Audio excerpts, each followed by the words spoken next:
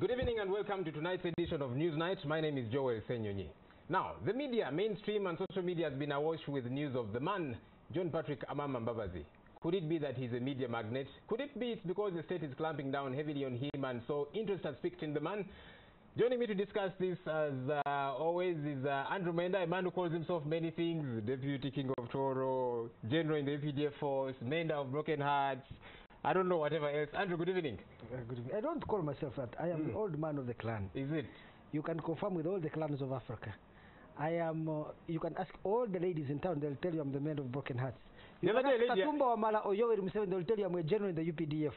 So this is not my ranks. They're, Whatever it they is are that my, you had for my lunch. accomplishments. Let's get to the real business, Andrew. Uh, previously, you have said that actually the reason Amama Mbabazi is all over the place is because the state is heavy on the man. Uh, But again, some will say, look, it's because this man is tech savvy, he's out there, he's using teleprompters, he's using social media, and for that matter, everybody's after him for one reason or another. Uh, let me tell you this. Mbabaz was in Kanungu yesterday, Mm. Monday. He even addressed a gathering, either at the funeral of his brother and other gatherings. Check monitor. Do you see Mbabaz there? New Vision is on page 8. Do you know why? NTV, did you cover the events in Kanungu yesterday? Yes, we did. Uh, we'll actually be talking a bit about that. Bishop Exactly. Dan Zoreka talking a couple of things there. E- Exactly. Now let me tell you, why is it not the headline news on NTV? Why were you not doing live coverage? You did a live coverage at uh, of of his arrest. NBS did the same. WBS did the same thing. He was on front page of Mountain New Vision last week. Why isn't he on the front page of newspapers today and the headline news in the TV? It's because the police are not chasing after him. I have told people Mbabaz is not a strong candidate. Mbabaz's strength will come from Museveni's actions. Mbabaz in and of himself cannot generate sufficient political momentum to galvanize, excite, and uh, excite the imagination of voters. If you tell me Besigye, Besigye can. You see, Besigye has gone through has gone through fire. He has been baptized by the fire of charges of rape, charges of terrorism, charges of uh, treason. He has been beaten, tear gassed, arrested. His brother has been killed. His wife has been chased away. His siblings have been exiled. His in laws have all gone to exile. His home has been destroyed. His business has overrun. His friend is undermined. Every single thing has happened. What this has done, therefore, is he has created credibility that uh, if you wanted to trust somebody, so many Ugandans who have opposed Museveni, on the first instance of a bullet, they have run away. When they have been, police has come, they have gone. But this man has dug in his heels. But he has dug Andrew, in do I hear you Let- let me first prognosticating that, uh, Benjamin. My line of thought is this: that Besigye has done the most important thing about leadership in circumstances like ours, which is sacrifice. He sacrificed a lot, and that sacrifice means he's a man who can stand by his word through thick and thin. So people trust him. So you, Ambabazi, you have been in the bed cuddling with Museveni. When he has been hitting us, it is you who has been beating us. Why should we trust you? So for Mbabazi to develop the credentials of Besigye, more than any human being I know, you take it from I'm an old man of my age. I'm 102 years now. I can tell you, you need to get Mbabazi beaten, dragged through the streets for him to develop Besigye's credentials. Here's If what's happening, that- Andrew. Uh, today, the NRM nomination, we need to keep moving quickly. The NRM uh, nominations have begun, and um, Babas, we are told, is going to pick his nomination forms tomorrow. Yes. And that means he's going to be as home, easy as home and dry. Nobody's going to bother him because it will be clear who- nominations are on. That is what we expect, really. The clampdown is not going to be as heavy as it has been. So, do I hear you prognosticating that right about now, the media attention on Babas is going to dissipate? Uh, it's going to be probably the last that we shall hear of the man because Ask he will me be clearly if, free if to do whatever it is in he wants to do. NRM's shoes. Mm. This is my advice. President Yoweri Museveni, if you have you watch this show, please listen to my advice. And I tell you, with this, you will win. One, let him Baba speak his forms. Don't disturb him at all. Two, let him be nominated. Three, give give him all the freedom. Let him go to Namboole and run. Should Museveni act in such a civilized, democratic manner, Mbabazi is cooked. I'll tell you why. that- Because in Mm. that NRM delegates conference, Mbabaz will not pick 100 votes. There are 7,000 people. If he picks 100 uh, votes, I'll give you 1,000 shillings. For every vote he picks, you have 10 shillings from me.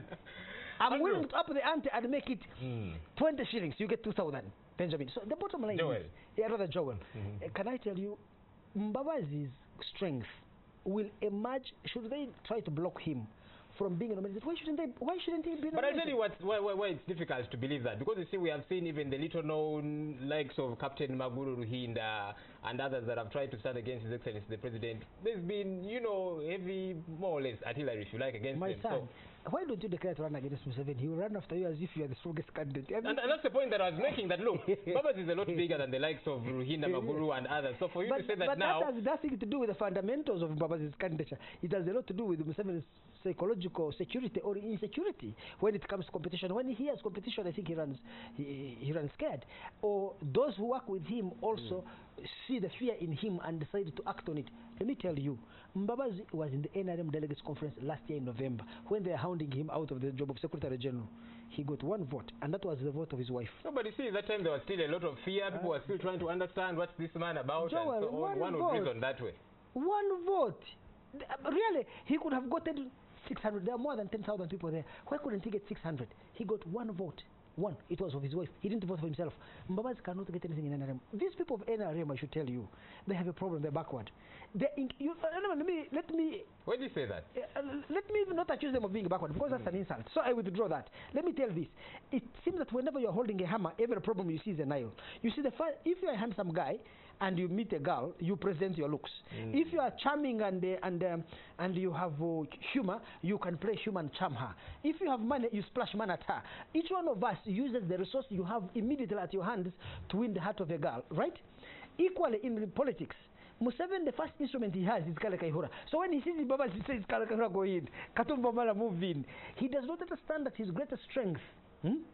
His greatest strength is to exhibit a certain degree of civility, a certain degree of maturity. And Andrew, you seem to and- say and- that uh, this man has little or no support at all. But look, uh, there's been many sympathizers that have come alongside him, especially after the clampdown was heavy.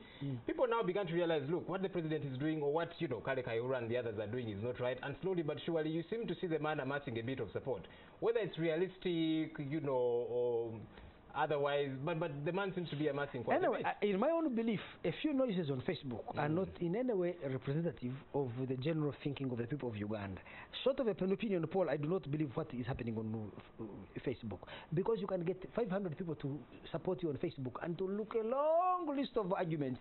They're just 500 people. You see, this country has about 16 million voters. So you see, so so the bottom line is that this hype you guys are picking off the social media is not a reflection of Mbabazi's strength. I personally think, first of all, that Mbabazi is a great guy.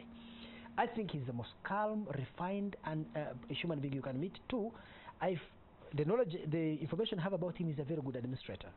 And then three, I also know that he's the most experienced person in statecraft, so he can make a good president. The problem Mbabazi has is that he has been so much in the shadow of Museveni that he does he does not have a character, his own person. Mm. Whatever he is going for him is a person who has been Museveni's hatchet man, and he cannot inspire confidence in those who are fighting Museveni. Besigye can, Mbabazi cannot. All right. And the only one, it is possible, some say, uh, conspiracy theorists tell me that Mbabazi has a secret agreement with the president. Seen beats that him, agreement? in order to undermine the Everybody message. listen, about oh, this, I'm saying it's a conspiracy theory that the president wants to beat Mbabazi and build his profile up to like that of Besigye. So when we are about to reach the election, when the opposition have nominated Mbabazi, then Museveni and Mbabazi say, okay, we have united forces, and then the entire opposition Andrew, we falls. need to wrap this up. Thanks a bunch for your two pence. And that, ladies and gentlemen, was Newsnight it.